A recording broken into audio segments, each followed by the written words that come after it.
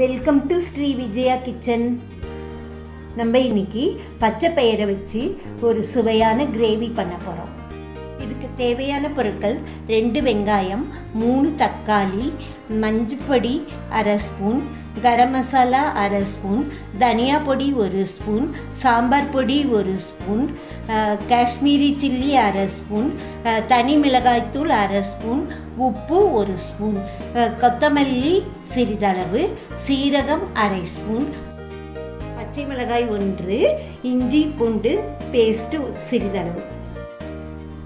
நாலு விசில் விட்டு வேக வைத்த பச்சை பயிறு அரை கப் வாங்க இந்த ரெசிபி எப்படி பண்ணலான்னு பார்க்கலாம்.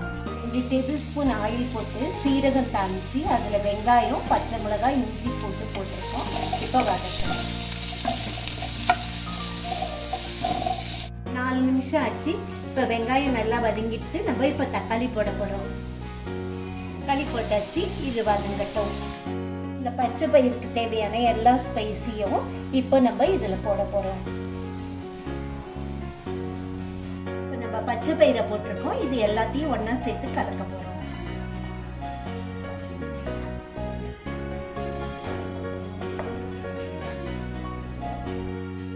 இது ரெடி ஆயிடுது இதில் நான் அரை டம்ளர் தண்ணி விட்டுருக்கேன்.